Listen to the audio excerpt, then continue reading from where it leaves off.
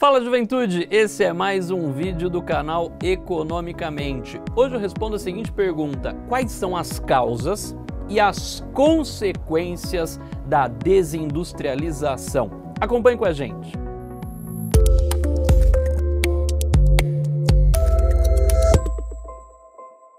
Nos últimos anos, diversas pessoas, principalmente alguns economistas, têm retomado a discussão sobre um eventual processo de desindustrialização que vem ocorrendo na economia brasileira.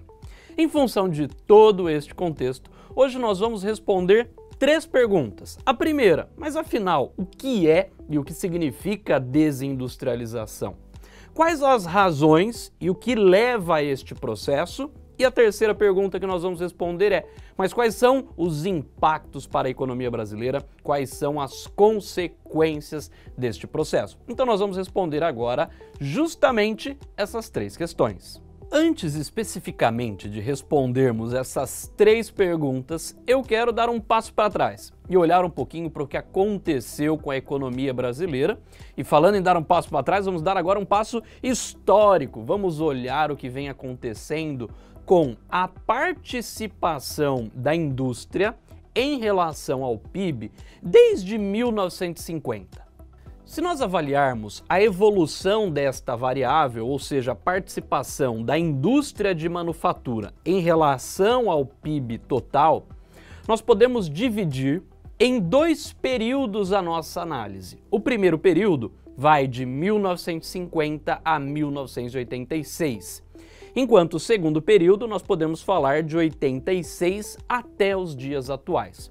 Mas vamos explicar o que aconteceu exatamente nestes dois períodos. Em relação ao primeiro período, nós podemos dizer o seguinte: de 1950 até 1986, o que nós tivemos neste período foi um aumento da participação da indústria de transformação na composição do PIB total, ou seja, nós tivemos um avanço do setor industrial no Brasil, em que pese a sua consolidação, estruturação e diversificação. Ou seja, um período em que quase dobramos a participação da indústria no PIB.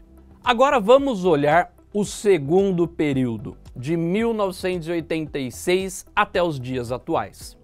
Acontece neste segundo período exatamente o oposto do primeiro período, ou seja, nós temos uma queda da participação da indústria da transformação na composição do PIB total.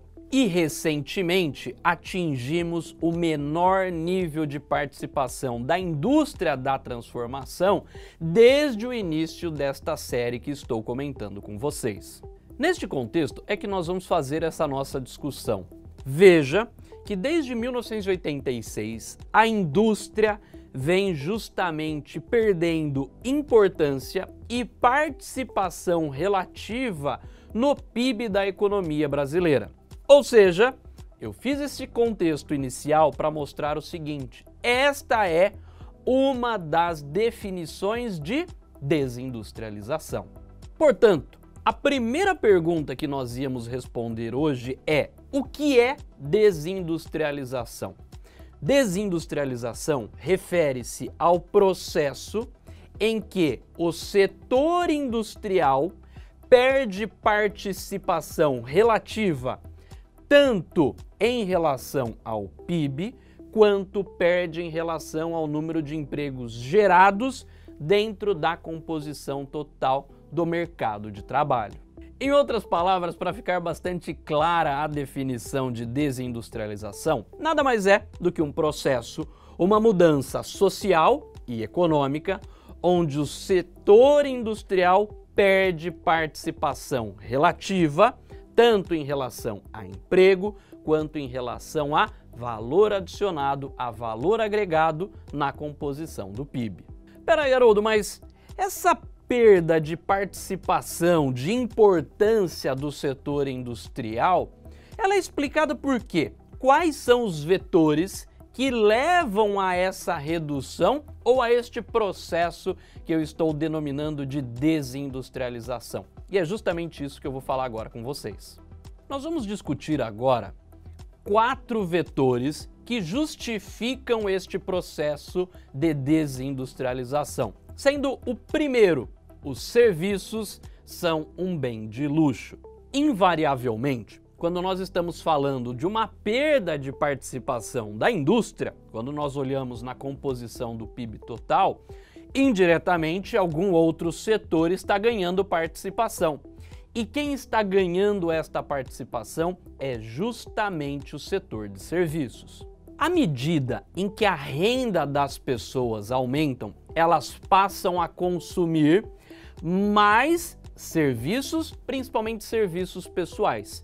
Em economês, o que eu estou querendo dizer é o seguinte: nós temos, com o aumento da renda, uma migração principalmente para o setor de serviços, uma vez que eu tenho uma elasticidade renda da demanda maior.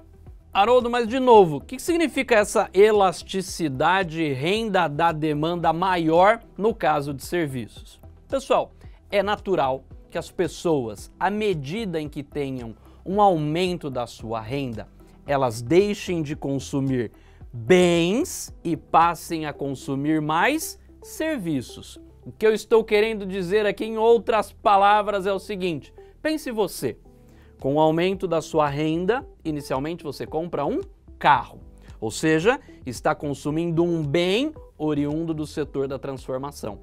À medida que a sua renda aumenta ainda mais, você passa a consumir um serviço, ou seja, passa agora a utilizar um Uber, um serviço, ou até mesmo acaba contratando um motorista. Portanto, este é um processo que tem acontecido no mundo todo e não apenas no Brasil. O setor de serviços tem ganhado cada vez mais importância, ou seja, temos reduzido o nosso consumo de bens e cada vez mais consumido serviços, principalmente com o aumento da nossa renda. Segunda justificativa: mudança da vantagem comparativa. Os bens manufaturados geralmente acabam sendo intensivos em mão de obra. Portanto, as indústrias acabam migrando, acabam se deslocando, principalmente para países onde o custo da mão de obra é menor. Ou seja, acaba sendo muito mais barato eu importar distribuir este produto num determinado país do que produzir internamente em função do elevado custo da mão de obra. Veja que isso tem acontecido fortemente no mundo. Muitas empresas industriais migrando-se para a Índia e para a China com um menor custo da mão de obra. Só para contextualizar, tradicionalmente o Reino Unido era forte na indústria manufatureira têxtil. Veja que o Reino Unido perdeu esta liderança justamente para o sul e sudeste asiático, mas alavancou a participação do setor de serviços, principalmente dos serviços financeiros. Terceira justificativa: aumento da produtividade do trabalho na indústria. A indústria, o setor de transformação como um todo, acaba tendo uma velocidade de crescimento da produtividade da mão de obra muito maior do que o setor de serviços, principalmente com a tecnologia. O que eu estou querendo dizer é o seguinte: com o advento da tecnologia no setor industrial, o número de trabalhadores que eu preciso na indústria também acaba se reduzindo comparativamente ao próprio setor de serviços. Quarta e última razão: choques de curto prazo. Embora não tenha sido curto prazo, no Brasil nós podemos fazer até mesmo uma análise histórica. Mas de 2003 a 2010, nós tivemos duas características na economia brasileira. Primeiro, juros elevados e do outro lado, um câmbio valorizado. A conjugação destas duas variáveis fez com que nós estimulássemos a importação e acabávamos inibindo a exportação dos nossos produtos industriais. Portanto, a combinação durante este período que mencionei com vocês, 2003 a 2010, de câmbio valorizado e juros elevados fez com que nós perdêssemos a nossa participação no comércio mundial, principalmente do ponto de vista industrial, bem como fortalecêssemos o processo de desindustrialização. Estes quatro vetores que comentei com vocês, combinados, explicam o processo de desindustrialização, não só no Brasil, mas em diversas outras economias do mundo. Mas tendo entendido este processo de desindustrialização, é preciso entender quais são as consequências que estão por trás e agora eu respondo a última pergunta: quais são os impactos da desindustrialização? Eu vou comentar com vocês três grandes impactos, consequências da desindustrialização. O primeiro, desemprego estrutural. O processo de desindustrialização leva a uma perda de empregos e de certos tipos de empregos numa determinada região. A maior prova disso é o que nós estamos observando justamente no início de 2021, com a saída da Ford no polo de Camaçari, na Bahia, ou seja, 15% praticamente da população irá ficar desempregada. Você deve estar se falando assim, ah, Haroldo, mas com o fechamento da indústria, essas pessoas agora vão migrar para o setor de serviços. Isso pode acontecer, mas há uma certa imobilidade no curto prazo, tanto geográfica quanto ocupacional. Segunda consequência, declínio regional. A desindustrialização é sentida fortemente principalmente na região, na localidade onde aquela indústria manufatureira foi fechada. O melhor exemplo desta situação é justamente Detroit, nos Estados Unidos, que tem lutado para se reinventar e reerguer-se com o fechamento das principais indústrias da região. Terceiro impacto: déficit em conta corrente. Os países que sofrem desindustrialização sofrem principalmente com um déficit em conta corrente, para não dizer especificamente na balança comercial. Haroldo, o que você está querendo dizer? Pega o exemplo brasileiro. Desde 2008, a balança comercial do setor industrial é deficitária, ou seja, nós importamos muito mais produtos industriais do que exportamos esses tipos de bens. Pessoal, hoje nós discutimos principalmente o processo de desindustrialização. O que eu quero deixar claro é que as causas e consequências também não são uma unanimidade entre os economistas. Para você ter uma ideia, há um grupo que nós chamamos de novos desenvolvimentistas. Eles alegam que a principal causa justamente do nosso processo de desindustrialização foi a abertura financeira, um câmbio excessivamente valorizado e juros elevados.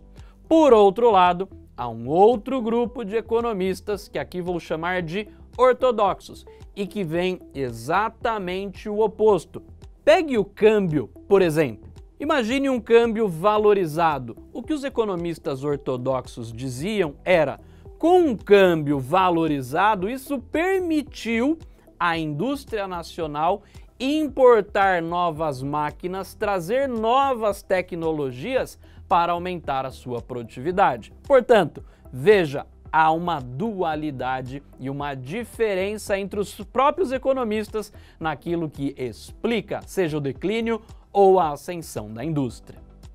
Embora os próprios economistas tenham divergências entre si, você que me acompanha aqui sabe muito bem que a causa, o problema da desindustrialização no Brasil é estrutural, ou seja, justamente o nosso baixo nível de produtividade, uma carga tributária complexa e extremamente elevada, uma insegurança jurídica, política e uma instabilidade econômica. São essas as justas causas e que explicam verdadeiramente a nossa desindustrialização e que, aliás, é preocupante. That's all, folks. Isso é tudo, pessoal. Se você gostou, não se esqueça de se inscrever e, mais do que isso, de ativar o sininho que está aí, ou seja, para receber as notificações sempre que tiver vídeo novo no canal. Valeu!